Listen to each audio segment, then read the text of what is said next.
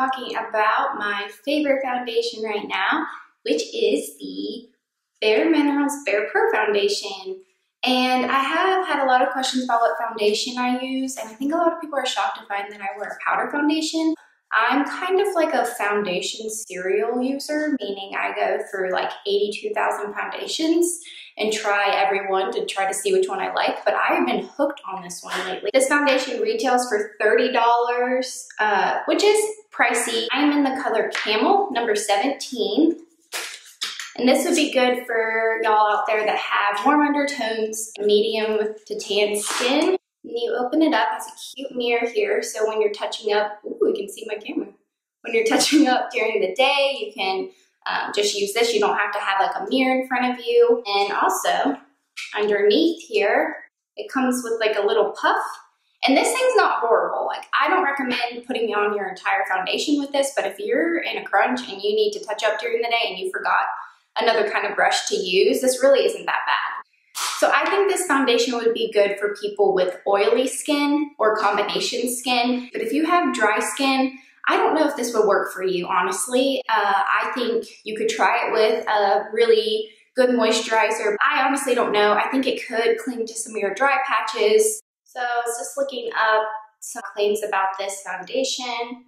Um, oh my gosh, it has horrible reviews online. Bare Minerals website has a 2.8. I swear, y'all, if they go out of this foundation, that'd be so sad. So, Bare Minerals, those people are lying. It's great. So it says it's buildable and breathable, agree and agree, which is why I love Bare Minerals because they have a way of somehow making these magical products that are natural looking but also full coverage. It is long wearing coverage. I definitely agree with this. I would say because I have super oily skin, you probably get about 10 hours of good wear with this foundation with touch-ups. All my oily skin girls out there, I know you get me. I know you understand. It has a super smooth skin texture. I do agree with that. I think it really does help my skin look just smooth. Um, it kind of gives you that airbrushed look so I'm gonna zoom up close so y'all can get a better view. Kind of like smooths out my skin. I, you can't really tell my pores, and I have really big pores, so I really like that. Um, it still looks natural looking. So let's go ahead and get into the demo and you can see how I apply this foundation and what my skin looks like before and after and just how well it covers. I always start out by priming my skin and I'm obsessed with Dr. Brandt's Pore No More, Pores No More primer. And just press that into my skin. And I also use Smashbox Photo Finish Pore Minimizing Primer, and I'm just going to press that where my pores are most noticeable. And the key with primers is you definitely want to let it sit in your skin for about a minute. Just let it absorb before you apply your foundation. I found that this really helps to lock in my foundation for the entire day. Now that I let my primer set, I always conceal my under eyes next. With powder foundation, I found that it just works better for me if I do my under eye concealer first instead of after putting the foundation on. And I'm in the shade Medium Light, and this is Urban Decay's Naked Skin Concealer. I like to apply it in like an upside down triangle underneath my eye.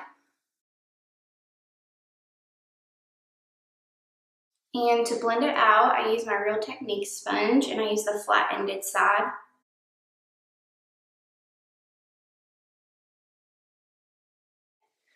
Then I move on to foundation. I've tried a few brushes out with this foundation. My favorite brush to use is the IT Cosmetics brush. I believe it's the Air Blurring Foundation Brush. It's a flat top brush and I just start by pressing it into my foundation and then I do uh, buffing motions and I think they say to you start on the outside of the face. I like starting on the inside because that's where I need the most coverage I feel like. Uh, so let's do the side that has like the most problem areas going on. So the key is just using a small amount on your brush to start out and just really buff it into your skin. I know a lot of people feel like they can't get the same amount of coverage with powder foundations, but if you really let it warm into your skin, at least with Bare Mineral foundations, I found that it just really melts into your skin and you can build up the coverage, but a lot of people will just put a ton on their brush and just keep going and going and going. and they get a really cakey look and then you're frustrated thinking it's just the powder foundation. So there's one tiny layer. I am gonna add another one. I'm just gonna dip my brush in there again.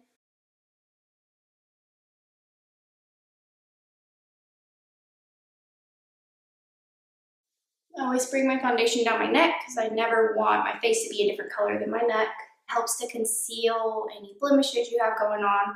Still have a few you can peek that are peeking through here and here.